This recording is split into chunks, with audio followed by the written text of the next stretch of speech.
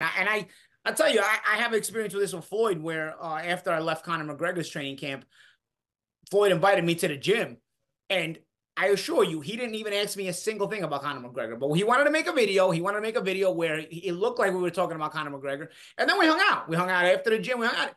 I they, Conor McGregor was never brought up again. It was just in the in, in the it was just in the video, and it was just to make people think it was just about uh, oh Paulie went over there to tell McGregor secrets, as if McGregor had any secrets. I mean, but uh, but then again, that fan base has the fan, has the IQ of, of Forrest Gump, so you can you can fool them with anything. But